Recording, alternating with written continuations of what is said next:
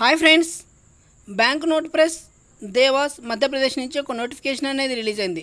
So ఇదేంటంటే మనకి currency నోట్లు తయారు చేసే గవర్నమెంట్ సంస్థ అనమాట సో దీంట్లో మనకి ఖాళీలు అనేది రిలీజ్ చేయడం జరిగింది.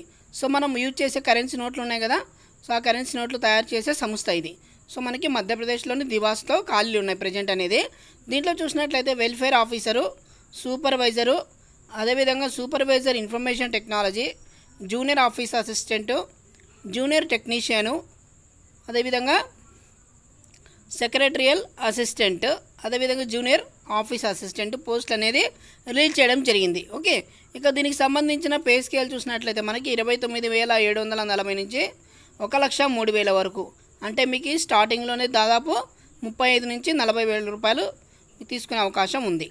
ఓకే? ఇక నెక్స్ట్ చూసినట్లయితే జూనియర్ టెక్నీషియన్ పోస్టులకు చూసినట్లయితే మనము పద్దెనిమిది వేల ఏడు వందల ఎనభై నుంచి అరవై ఏడు వేల మూడు వందల తొంభై రూపాయలు ఉందండి. ఇక ఏజ్ లిమిట్ చూస్తే మనకు వెల్ఫేర్ ఆఫీసరు సూపర్వైజరు పోస్టులకి ముప్పై సంవత్సరాలు మించకూడదు. అదేవిధంగా జూనియర్ ఆఫీస్ అసిస్టెంట్కి ఇరవై ఎనిమిది సంవత్సరాలు మించకూడదు. జూనియర్ టెక్నీషియన్ పోస్టులకు ఇరవై ఐదు సంవత్సరాలు మించకూడదు. ఓకే? సో మినిమం పద్దెనిమిది ఏళ్ళ నుండి మ్యాక్సిమం ఈ ఏజ్ వర్తిస్తుందండి. ఇక నెక్స్ట్ సో ఇది ఆన్లైన్లో అప్లై చేసుకోవాల్సి ఉంటుంది. ఇక సెక్రటరియల్ అసిస్టెంట్. ఇది ఇరవై మూడు వేల తొమ్మిది వందల పది నుంచి ఎనభై ఐదు వేల ఐదు వందల డెబ్బై రూపాయలు శాలరీ అండి.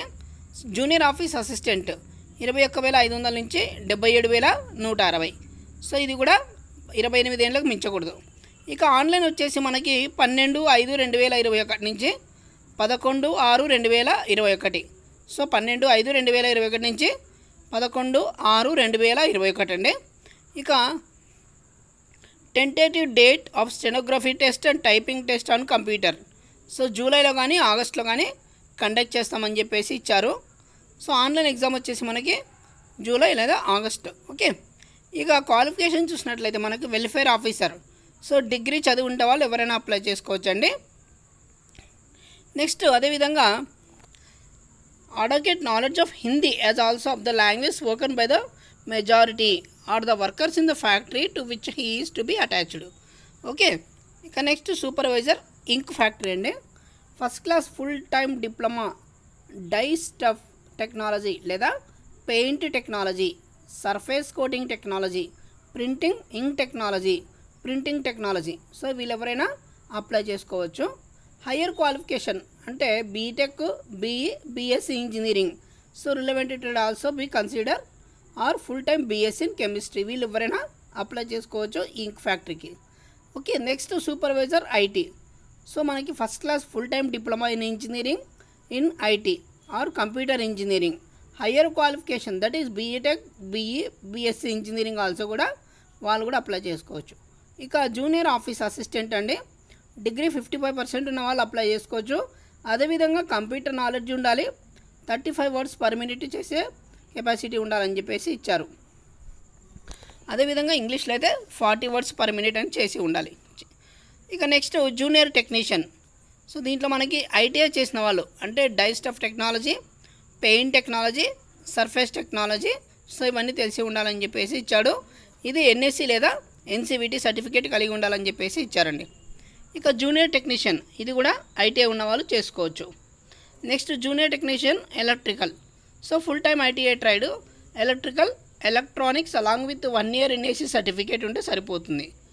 ఇక mechanical AC so full time ITI certificate fitter కానీ machinist turner so instrument mechanic mechanic motor vehicle along with one year NCVT certificate ఇక సెక్రటరియల్ అసిస్టెంట్ సో డిగ్రీలో యాభై ఐదు శాతం ఉండాలి. కంప్యూటర్ నాలెడ్జ్ తెలిసి ఉండాలి. స్టెనోగ్రఫీ వచ్చి ఉండాలి. హిందీ లేదా ఇంగ్లీష్ అండి. ఓకే ఇక డిజరబుల్ వచ్చేసి మనకి ప్రొఫిషియన్సీ ఇన్ సెక్రటరియల్ జాబ్ అని ఇచ్చాడు. So relevant trade means trade in which diploma qualifications has been prescribed so for complete details including qualification reservation relaxation in upper age limit examination fee selection process selection process so general information instructions other details so visit the website అని చెప్పేసి ఇచ్చాడు. BNP D E W A S dot SPMCIL dot com so దీనికి దీని ద్వారా apply చేసుకోవాల్సి ఉంటుంది. Okay దీని గురించి పూర్తి వివరాలు అనేది ఈ వెబ్సైట్లో పొందుపరిచారంట.